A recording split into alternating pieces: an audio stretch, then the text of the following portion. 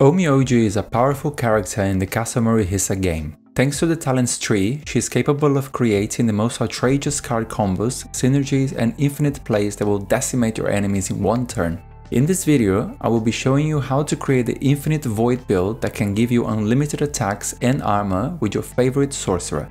In order to get this build, you will need two specific talents available to you on your tree. One is to the death, which is on the general tree and it will put a card in your hand whenever your hand is empty on your turn. The second one is Void Leak, specific to the Onmyoji's tree, and it will reduce the action point of a random card in your hand by 1 whenever you play a Void card. If you've got these two talents available to you, then you should work your way towards unlocking them for this build. Another talent that is not essential but can be really helpful is proper usage, which grants you 3 armor for each card you place into the void. If you play in your void cards infinitely, then your armor will soon stack up. You can potentially ditch all your armor cards to tighten up your deck, but it might cost you a lot of coins. Also some defense cards will go into the void, so you might as well keep those. And the final talent that is not essential for this build, but that will grant you strength stack up to higher levels is Curse Burst power. That will give you one temporary strength for each card you place in the void on that turn, and it will disappear once the turn is finished. However, if you play infinite cards and killing enemies within one turn, your strength will never go away. This talent will be the nail in the coffin for all those enemies and it will make Onmyoji incredibly powerful.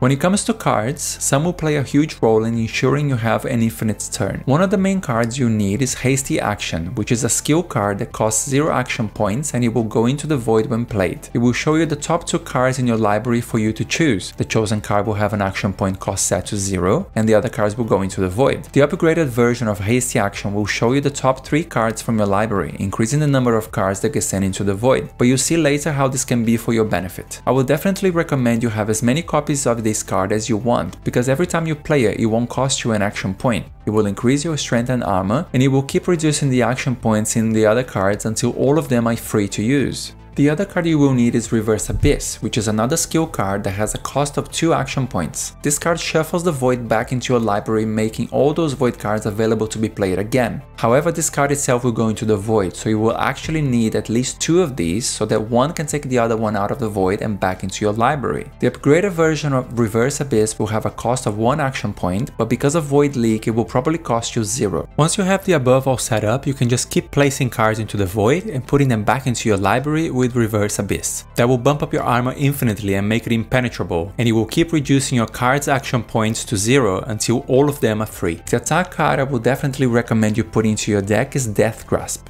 Death Grasp has a finale effect which will only be triggered if it is the only card of that type in your hand, and it will deal extra damage equal to the damage you have already dealt during your turn. That can be absolutely devastating to your enemies. It will be easy to trigger that effect when To the Death puts that card in your hand, or you can just play all the other cards until Death Grasp is the only one left. The upgraded version of Death Grasp also has a save condition, which will keep that card in your hand even when your turn is ended.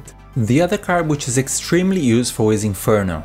Inferno will deal damage of 6 plus the number of cards you have in the void. However, the upgraded version of this card will deal 8 damage plus 2 times the number of cards in your void stack. Couple that with strength once your void stack has built up and you will be easily dealing over 30 damage every time you play this card. And remember I said hasty action upgrade will put more cards into the void and that will be to your benefit? Well, this is how it synergizes with Inferno. Build up your void stack with a hasty action and then unleash it with Inferno. Other cards that are non-essential but that will always add up to your build are the Shikigami cards. If you play Demon Strike cards, then they will trigger your Shikigami dealing additional damage or healing you during your infinite turn. Shikigami cards will go into the void so that means more free stacks of strength, armor and card cost reduction. And remember that any damage dealt during your turn will add to Death Grasp. So deal as much damage as you can and leave Death Grasp for the very end. You can one-shot the final boss that way. As you can see, Onmyoji's infinite void build is a real beast when it comes to damage and you will be finishing battles in one turn without taking any damage or letting the enemy play. This is one of the most fun builds builds I had in the game so far, and although you have to have luck on your side in order to pull it off, there will be ways of having a variant of it, which can still ensure you finish your run. I hope you enjoyed this and I would love to hear your thoughts in the comments below about what builds you are managing to build and how you're having fun with this game. Also give me a thumbs up as it helps with the algorithm. I will see you next time,